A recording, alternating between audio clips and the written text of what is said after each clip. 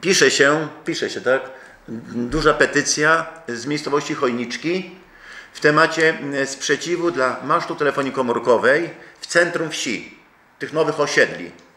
Yy, a więc na wysokości yy, powstającej żabki, tak? Powstającej żabki. Ulica Chojnicka, u Czyli prawa, prawa strona, tam jest wytwórnia siatek, tak, jest, mm, ludzie mm, protestują. Powiem tak, dzisiaj operatorzy telefonii komórkowej wycofują się już z z 2G, 3G na rzecz 4G, 5G. Internet szerokopasmowy. Z jednej strony co sesja ja słyszę, że nie ma internetu. Yy, Jest problem z internetem w gminie Chojnice. A z drugiej strony mm, ludzie protestują przeciwko e, masztom telefonii komórkowej. Yy, Dzisiaj rozmawiałem z dyrektorem Play na Polskę na Pomorze, panem Romanem Tomaszewskim. Zna problem.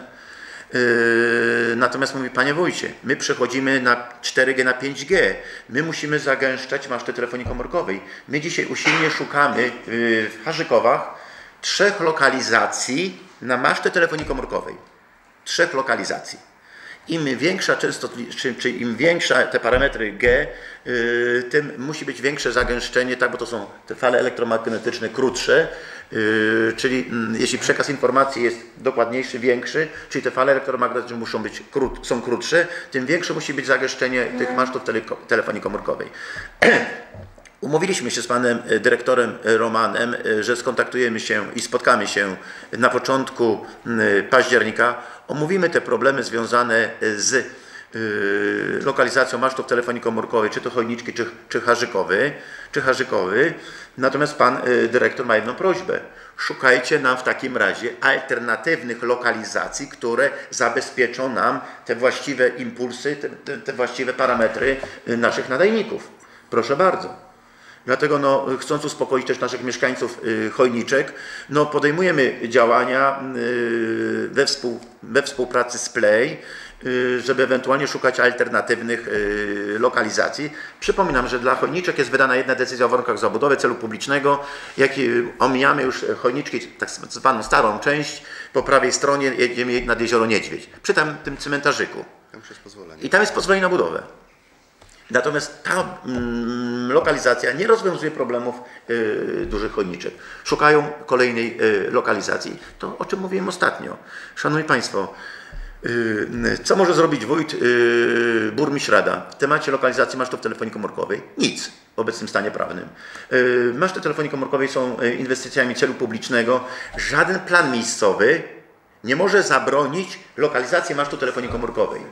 Żadna decyzja o warunkach zabudowy celu publicznego nie może zabronić. Lasy państwowe nie podlegają odlesieniu, czy lasy nie podlegają odlesieniu w procedurze budowy y, masztu telefonii komórkowej.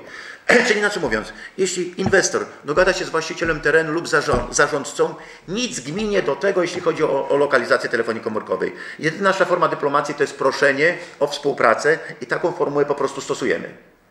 Czyli tak jak na przy, w przykładzie Małych Sfornegaci, gdzie toczą się jak gdyby uzgodnienia dyslokacji y, pierwotnej y, wersji lokalizacji przy wjeździe do Małych Sfornegaci po prawej stronie przy sklepie spożywczym na rzecz y, zlokalizowania ich na obrzeżach miejscowości Małych Sfornegacie w lesie, w lesie gdzie to 61 metrów wysokości jak gdyby będzie w połowie ubrane przez drzewostan leśny tam, tak?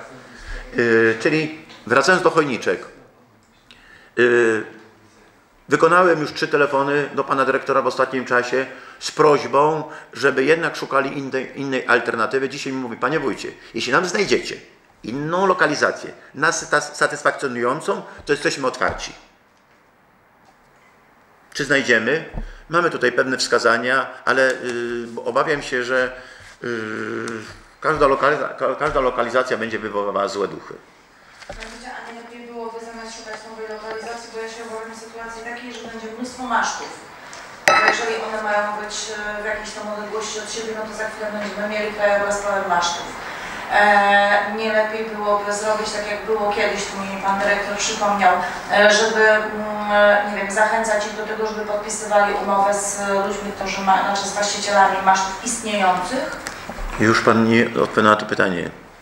Yy, My staramy się, żeby było jak najmniej masztów i nie chcemy, żeby na danym terenie były maszty różnych yy, operatorów telefonii komórkowej. Oczywiście my nikogo nie faworyzujemy. Możemy powiedzieć, ten pierwszy lepszy. Zasada. Yy, natomiast z tego co ja wiem, jest to wiadomość niesprawdzona, to jeśli powstaje masz telefonii komórkowej, to co najmniej przez rok dany operator telefonii komórkowej nie wyraża zgody na podwieszenie e, nadajnika konkurentowi. Dopiero, po, czy inaczej mówiąc, e, na moją prośbę, na naszą prośbę, e, w końcówce sierpnia podwieszono wzmacniacz sygnałowy na maszcie telefonii komórkowej w Kłodawie z myślą o Zbeninach i o Klosnowie. Klosnowo to była normalnie e, czarna dziura. W tej chwili w Klosnowie mamy dobry sygnał e, operatora e, Plus. I oni teraz nie mają interesu, żeby do tego masztu pozwolić innym operatorom, bo oni chcą, żeby mieszkańcy w Klosnowie zrezygnowali, nie wiem, z T-Mobile na, na ich rzecz. I ym, takie, takie niepisane ich tam prawo, że przez rok sobie nie udostępniają, na, natomiast po roku, po roku yy, dogadują się na zasadzie wzajemności. My na waszej wieży podwiesimy nasz nadajnik, a wy z wzajemnością no, biznesowe ro- rozmowy.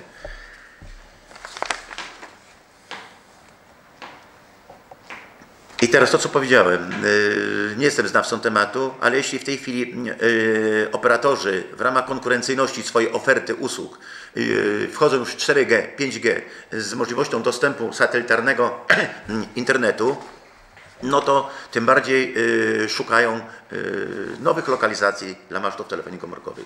Oczywiście to nie są dzieła architektury, to nie, są, to nie jest wieża Eiffla. Natomiast no, cywilizacja pe- pewnie wymaga pewnych kompromisów, tak? No, zobaczymy, no. Zobaczymy.